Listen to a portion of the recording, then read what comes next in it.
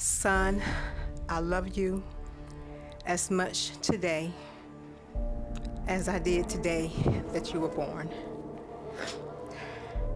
Raising you was the honor of my life, and I'm very proud of you. Your Honor, these men have chose to lie and attack my son and his surviving family. They each have no remorse and do not deserve any leniency. A child's birthday party. Douglas County prosecutors say Norton was not one of the riders who pointed shotguns at the adults and children in the yard of the Douglasville home. But David Amati says she was among many who hurled menacing threats while yelling the N word. He ever admit to you any crimes that he committed that no one knows about? 32. 32 cold cases of, of murders that he personally participated in. He, per, he personally performed himself, yes. I says, I'm a black man. I said, you got a few white guys in here who's trying to suck up to you every day, you know, fellow Klansmen. In today's day and age, it's an undisputable fact that everyone, despite their background, race, or ethnicity, deserves to be treated with dignity, respect, and equality. For far too many years, racism has driven a sense of hatred through communities, caused division, and claimed innocent lives. Now, not everyone in this video may have admitted to being a part of the Aryan Brotherhood or other well-known racist organizations, but they did display hateful and discriminatory actions against people who were simply trying to mind their own business. Their victims committed no crime, they just happened to not look a certain way. These are some of the most crazy and sometimes violent reactions of racist people finding out they are going to have to pay for their actions.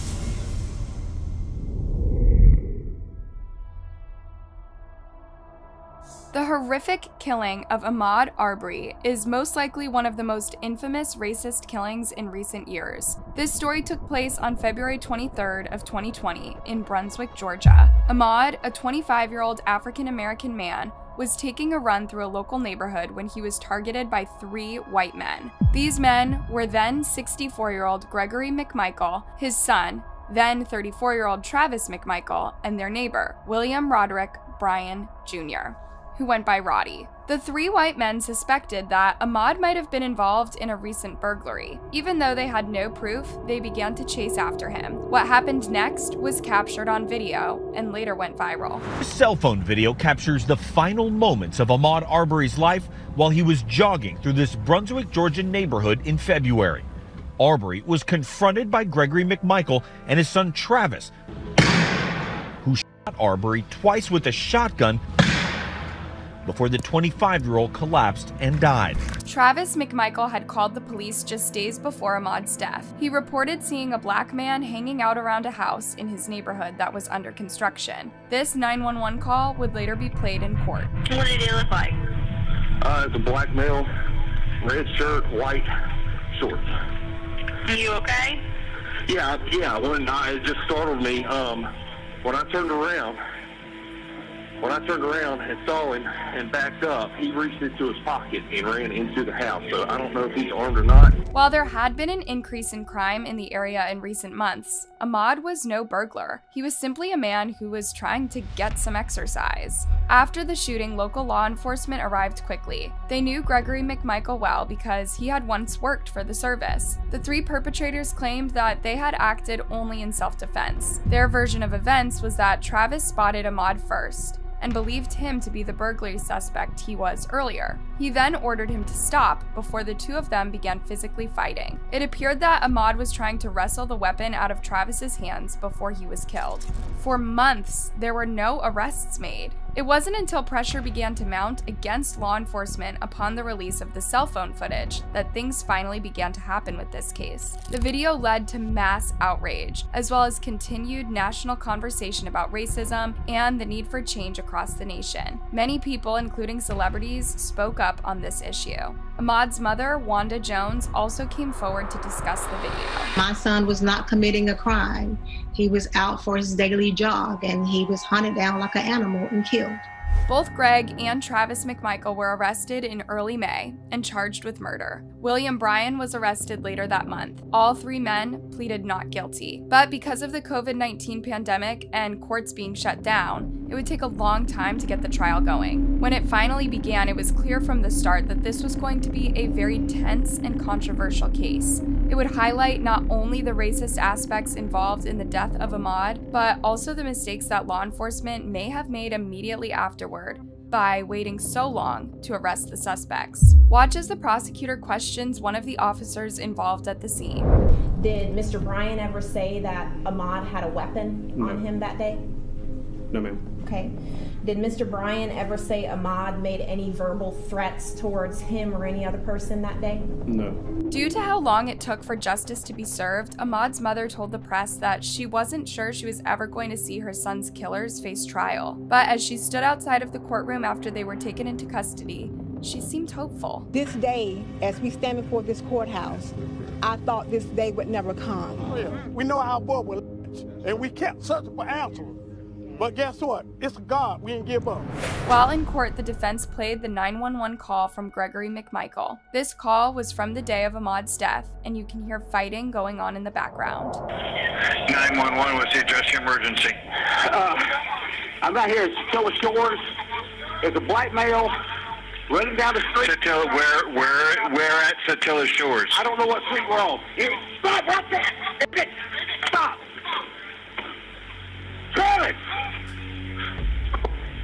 Sir, hello, sir. Sir, where you at? The dispatcher continues to try to make contact with the caller, but the call is abruptly ended. You might be wondering what was the purpose that the defense had in mind for playing this clip in court? It was likely done in an effort to make the suspects look like they were just trying to be responsible. Well, this is a very tricky issue, and it really goes to the heart of the case. The tapes make the McMichaels sound like they're responsible citizens reporting crimes. Travis McMichael even apparently comes face to face with Arbery a couple of weeks before the fatal encounter. So, were these suspects well meaning citizens who just overreacted? Or were they racist, cold blooded killers? After a dramatic trial, it would be up for the jury to decide. People all around the world tuned in anxiously in November of 2021 as it was announced that a verdict had been reached. Everyone was anxiously waiting to hear the conclusion the jury had come up with. Travis was the first to be found guilty. He remained stone faced and emotionless as the verdict was read. Count one malice murder. We, the jury, find the defendant, Travis McMichael, guilty. I'm going to ask that whoever just made an outburst be removed from the court, please.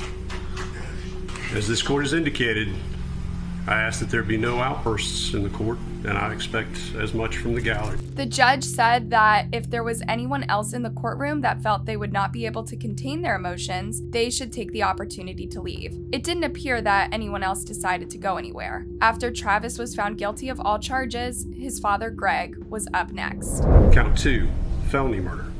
We, the jury, find the defendant, Greg McMichael, guilty. Count three felony murder. We, the jury, find the defendant, Greg McMichael, guilty. Greg simply closed his eyes and hung his head as the guilty verdict was read. Last up was William Bryan, aka Roddy. Roddy looked extremely distressed as the verdict was announced. Count one malice murder. We, the jury, find the defendant, William R. Bryan, not guilty. Count two felony murder. We, the jury, find the defendant, William R. Bryan, not guilty. Count three felony murder. We, the jury, find the defendant, William R. Bryan, guilty. In total, Roddy was found guilty of felony murder, aggravated assault, false imprisonment, and criminal attempt to commit a felony. These were lesser offenses than what the other two men were convicted of. Because of the extent of their charges, it was guaranteed that both Travis and Greg McMichael would automatically be sentenced to life behind bars. However, there was still a formal sentencing that took place in January of 2022. Before sentencing, Ahmaud's mother had the chance to provide a victim impact statement. Wanda Cooper wore a button with her son's face on it as she tearfully approached the stand. The heartbreak and devastation that she was experiencing was evident. Oh, I want to first speak directly to my son, if I please. This verdict doesn't bring you back,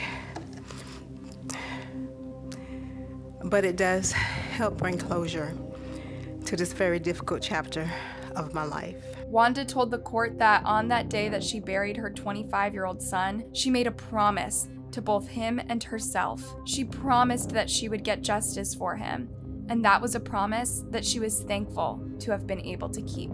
Son, I love you as much today as I did today that you were born. Raising you was the honor of my life, and I'm very proud of you. Your Honor, these men have chose to lie and attack my son and his surviving family. They each have no remorse and do not deserve any leniency. She went on to say that this was not a mere accident or a case of mistaken identity. Rather, these men chose to act in this way because they didn't view Ahmaud as being worthy of dignity or respect. They didn't want him in their community simply because of the color of his skin. She concluded her statement by asking the judge to give her son's killers the maximum sentence. Let me start with this statement. As we all now know, based upon the verdict that was rendered in this court in November, Ahmaud Arbery was murdered. It's a tragedy. It's a tragedy on many, many levels. He then went on to discuss how the only thing that Ahmaud had wanted to do was go for a jog, and that would ultimately lead to his premature death.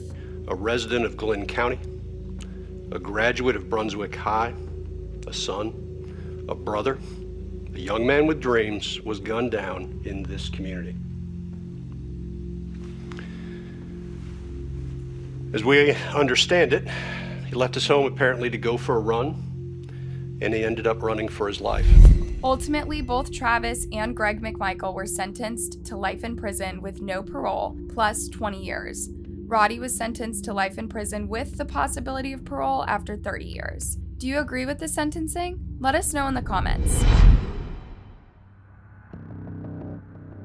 Judge sentenced Russell Courtier to life in prison. He killed 19-year-old Larnell Bruce in Gresham back in 2016. This next case is particularly horrific and just goes to show what some people are capable of when they are filled with this strong of hate and anger. 19-year-old Larnell Bruce was a young black man who had been minding his own business outside of a 7-Eleven in Oregon on August 10th of 2016 when the unthinkable happened. A white man named Russell Courtier, who was driving a Jeep, spotted Larnell and promptly ran him with the vehicle. The teen passed away from his injuries a few days later. Russell was a known white supremacist and a member of the European Kindred, a street gang. He killed Larnell simply because he was African American. It was a shocking crime that disturbed the community. Russell, as well as his girlfriend Colleen Hunt, who had also been in the vehicle, were later arrested. He was charged with murder and a hate crime, and she pleaded guilty to manslaughter. They were found guilty of the charges in March of 2019. While Colleen was sentenced to 10 years behind bars,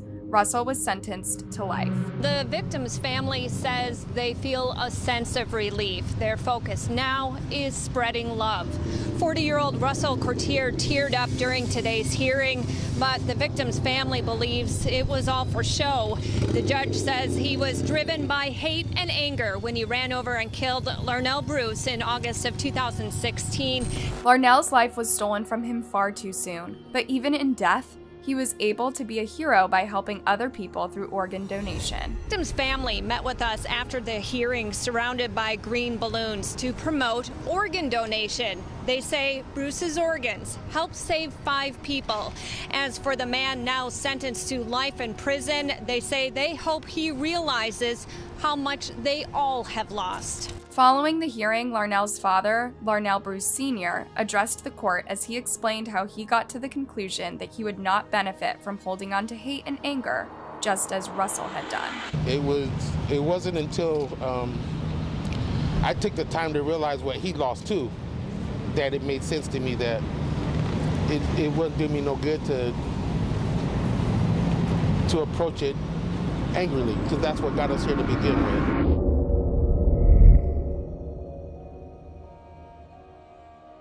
Two people died.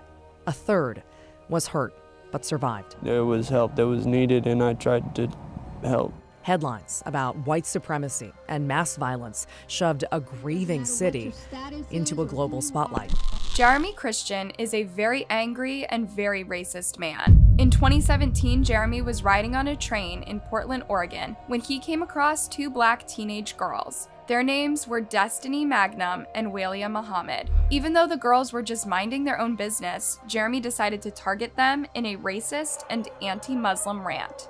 Three men, Ricky John Best, Taliesin Mydren Nagmaki Mech, and Micah David Cole Fletcher stepped in to try to defend the girls and defuse the situation. Taliesin reportedly told Jeremy in a firm voice that he needed to get off the train because he was causing a disruption and making everyone uncomfortable. When Jeremy refused, Micah came forward and gave him a firm push to try and get him off the train. At that point, Jeremy became enraged and told him that if he ever touched him again, he was going to kill him. Micah shoved him once more, and that's when Jeremy proceeded to completely fly off the handle. He attacked Taliesin and Micah, as well as Ricky, who had been standing nearby. In the flurry of activity and panic, Jeremy was able to get off the train and escape into the crowd. Luckily, he was arrested soon after and brought into custody. Sadly, both Ricky and Taliesin passed away. Micah was able to survive his wounds. The men who had bravely stepped forward to defend the girls, all while putting their own lives at risk, were hailed as heroes. It didn't take long for Jeremy to show everyone just how unhinged he really was.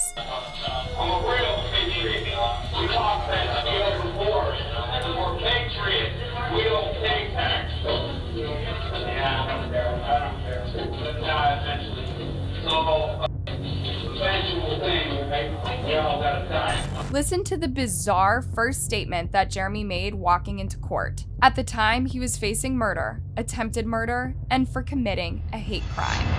Death to the enemies of America. Leave this country if you hate our freedom. Tonight, the man accused of the horrific rampage on a Portland train, 35 year old Jeremy Christian, made a belligerent first appearance in court. In February of 2020, after a trial with frequent outbursts, Jeremy was found guilty on all counts. Reads, we the jury duly impaneled and sworn in the above entitled cause do find our verdict upon the count submitted to us as follows.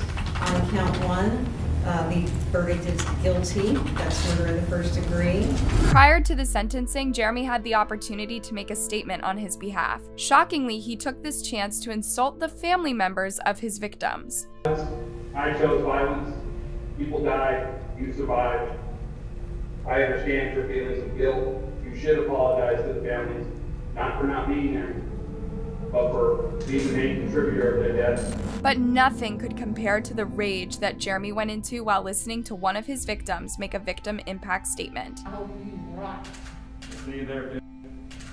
No, hey. Go back to What do I- Tennessee no, too. you- What do I tell you? Go back to Tennessee too. You can. We don't want you here. Fine, All your race, state, and bull.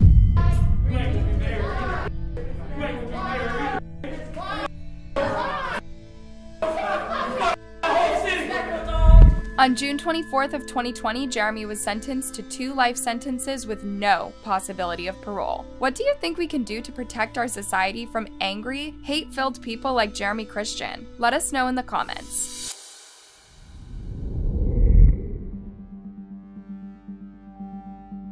Can you imagine going out of your way to intentionally ruin a little kid's birthday party? That is something that Joel Torres and Kayla Norton of Georgia know something about. The sickening crime in this case took place back in July of 2015. At the time, there was a lot of pain and suffering among the black community due to a tragedy that occurred only one month prior. A racist shooter entered a historically black church in South Carolina to carry out a rage-filled massacre. Tragically, nine people were killed while they were simply trying to attend a church service. Joel, who was 26 years old at the time, and Kayla, who was 25 at the time, decided to further add to the pain the community was reeling from by purposefully taunting and terrorizing a family trying to celebrate an eight year old girl's birthday. Knowing full well what the flag represents, the couple attached multiple different Confederate flags to the back of their pickup truck. They, along with some friends, then drove by the party, waving their weapons in the air and screaming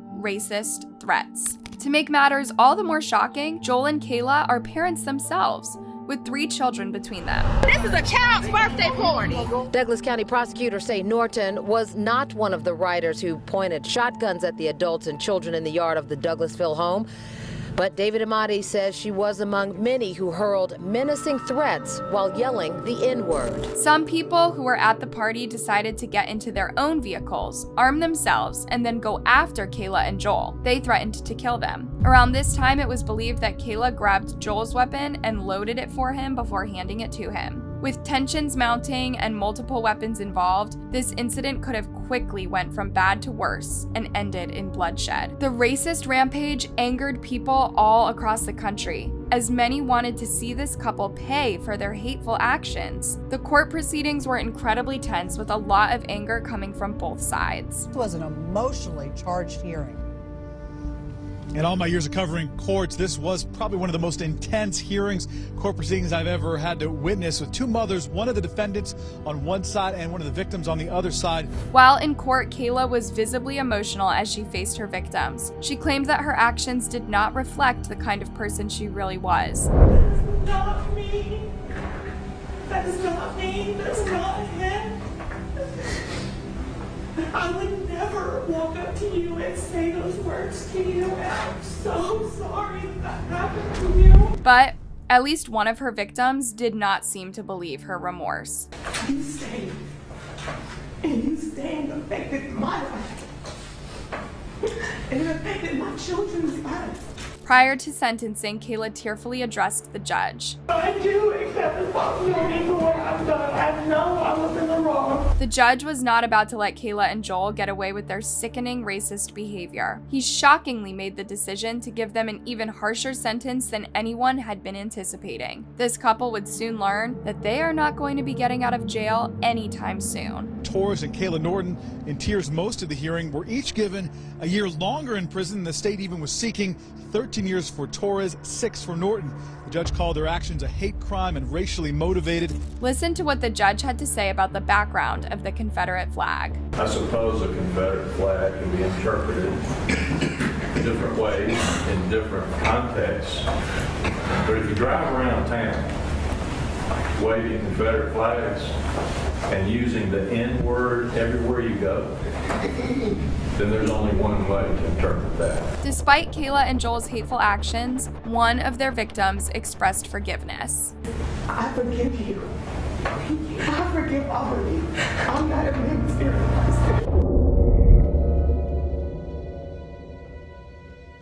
Edgar Ray Killen was a ruthless and well known member of the KKK. He was born in Mississippi in 1925. As the oldest of eight children, he came from humble beginnings. His father also happened to be a recruiter and organizer for the KKK. So, safe to say, Edgar was introduced to the darkest forms of racism at a young age. Throughout the years, Edgar was purposefully responsible for the murders of three men. Each one of them were well known civil rights activists in the community who had been participating in the Summer of Freedom in 1964. There was an initiative in Mississippi that was intended to get as many African American voters registered as possible. At the time, African Americans were not yet able to vote. Edgar's murders were brutal and extremely disturbing. The victims' names were James Chaney, Andrew Goodman, and Michael Schwerner. James was an African American man, and Andrew and Michael were both Jewish. They had traveled to the area to speak at a local church that had been burned, but they got pulled over along the way for speeding and were arrested.